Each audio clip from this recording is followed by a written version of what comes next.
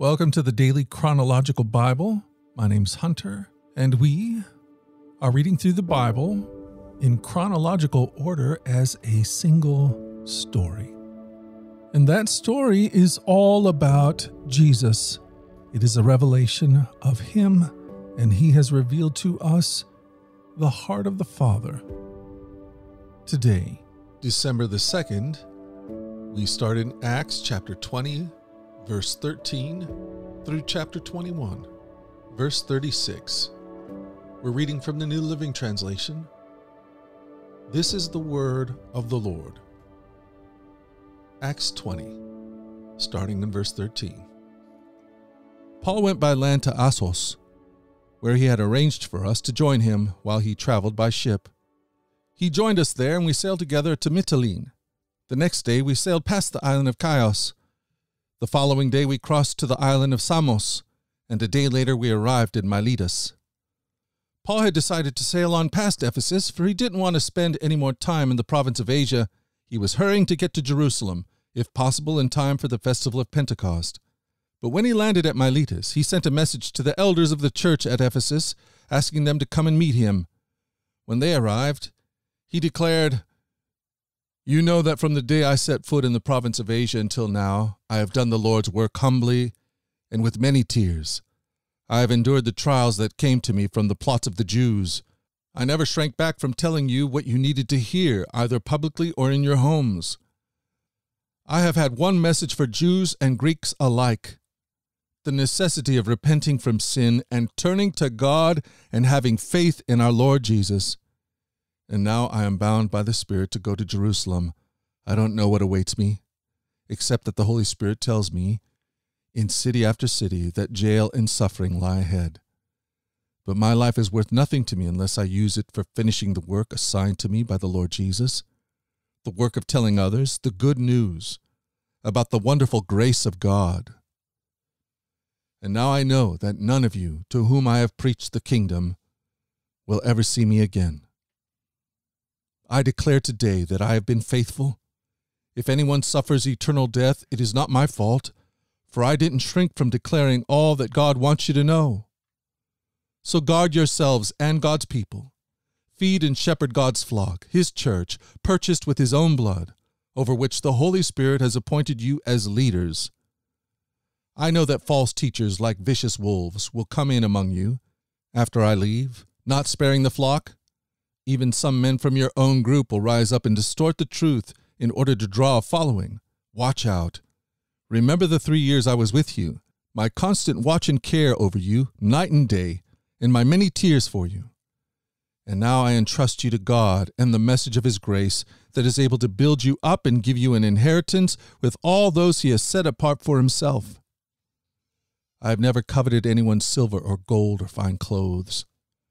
You know that these hands of mine have worked to supply my own needs, and even the needs of those who are with me.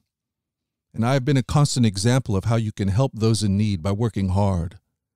You should remember the words of the Lord Jesus It is more blessed to give than to receive. When he had finished speaking, he knelt and prayed with them.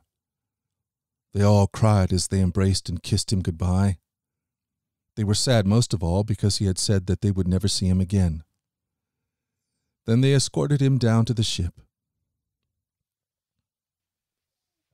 Acts 21. After saying farewell to the Ephesian elders, he sailed straight to the island of Kos. The next day we reached Rhodes, and then we went to Patara. There we boarded a ship sailing for Phoenicia. We sighted the island of Cyprus, passed it on our left, and landed at the harbor of Tyre in Syria, where the ship was to unload its cargo. We went ashore, found the local believers, and stayed with them a week. These believers prophesied through the Holy Spirit that Paul should not go on to Jerusalem. When we returned to the ship at the end of the week, the entire congregation, including women and children, left the city and came down to the shore with us. There we knelt, prayed, and said our farewells. Then we went aboard and they returned home. The next stop after leaving Tyre was Ptolemais, where we greeted the brothers and sisters and stayed for one day. The next day we went on to Caesarea and stayed at the home of Philip the evangelist. one of the seven men who had been chosen to distribute food. He had four unmarried daughters who had the gift of prophecy. Several days later, a man named Agabus, who also had the gift of prophecy, arrived from Judea. He came over, took Paul's belt, and bound his own feet and hands with it. Then he said, The Holy Spirit declares, So shall the owner of this belt be bound by the Jewish leaders in Jerusalem and turned over to the Gentiles. When we heard this, we and the local believers all begged Paul not to go to Jerusalem. But he said, Why all this weeping? You're breaking my heart. I am ready not only to be jailed at Jerusalem, but even to die for the sake of the Lord Jesus. When it was clear that we couldn't persuade him, we gave up and said, The Lord's will be done. After this, we packed our things and left for Jerusalem. Some believers from Caesarea accompanied us, and they took us to the home of Mnason, a man originally from Cyprus and one of the early believers. When we arrived, the brothers and sisters in Jerusalem welcomed us warmly. The next day, Paul went with us to meet with James, and all the elders of the Jerusalem church were present. After greeting them, Paul gave a detailed account of the things God had accomplished among the Gentiles through his ministry. After hearing this, they praised God.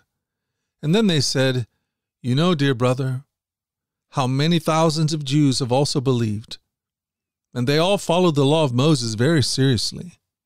But the Jewish believers here in Jerusalem have been told that you are teaching all the Jews who live among the Gentiles to turn their backs on the law of Moses.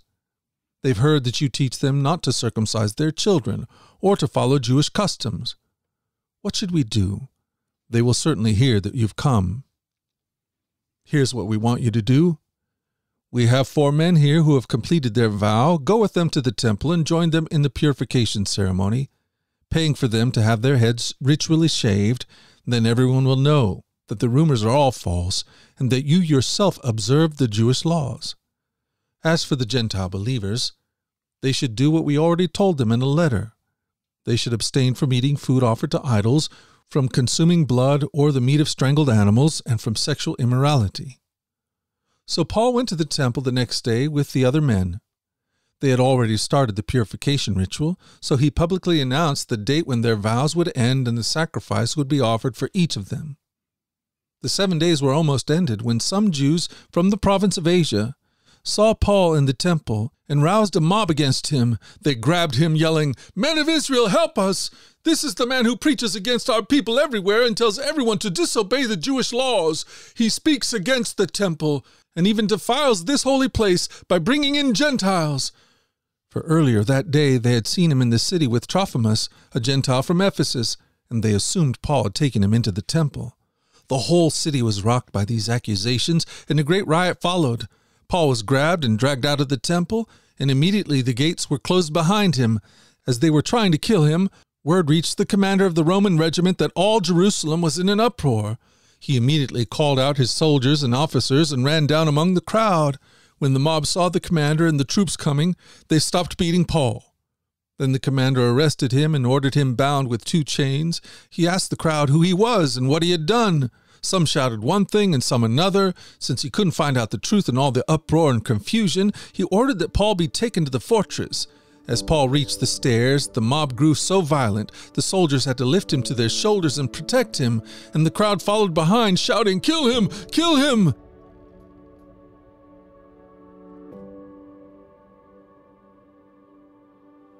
Thank you for joining us at the Daily Chronological Bible.